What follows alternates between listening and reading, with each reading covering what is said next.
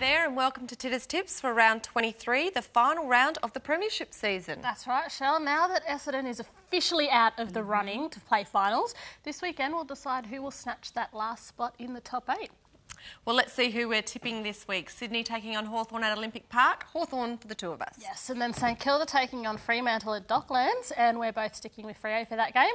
Geelong are taking on the Brisbane Lions at Kardinia Park.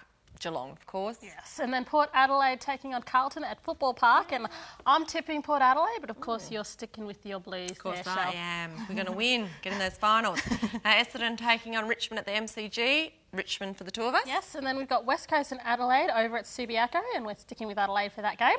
And Gold Coast are taking on GWS at the Gold Coast Stadium. And we're both going for the Gold Coast. Mm, last game for Kevin Sheedy as well. Oh, yes, and then Collingwood and North Melbourne are next at the MCG, and we're both sticking with Collingwood. And finally, the Bulldogs are playing against Melbourne at the Docklands.